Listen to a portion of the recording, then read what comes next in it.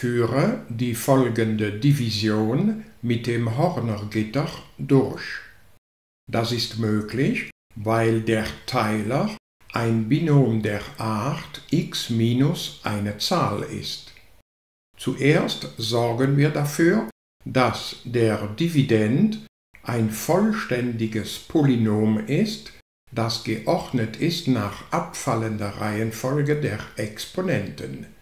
Hier 3, 2, 1, 0. Dieses Polynom erfüllt beide Bedingungen. Wir beginnen damit, die Koeffizienten vom Dividend auf eine Linie zu schreiben.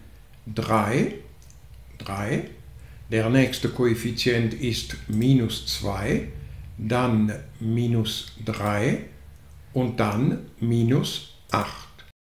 Wir bereiten das Gitter so vor und setzen die Zahl, die hier von x abgezogen wird, an diesen Platz. Diese 3 rutscht runter hierhin, so. Von da nach da wird jetzt multipliziert. Wir rechnen also 2 mal 3, das macht 6. Und diese 6 schreiben wir hier hin.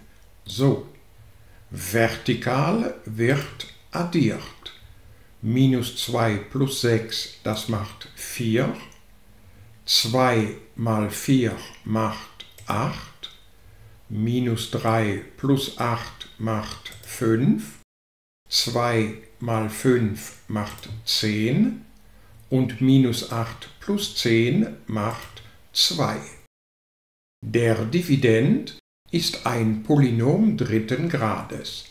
Der Teiler ist ein Polynom ersten Grades, also erhalten wir als Quotient ein Polynom zweiten Grades, dessen Koeffizienten hier abzulesen sind. Es ist also das Polynom 3x plus 4x plus 5 und der Rest ist diese 2. Wir können diese Division also so deuten, der Dividend geteilt durch den Divisor, das ist dieser Quotient, den wir da ablesen, plus diesen Rest 2 geteilt durch diesen Teiler.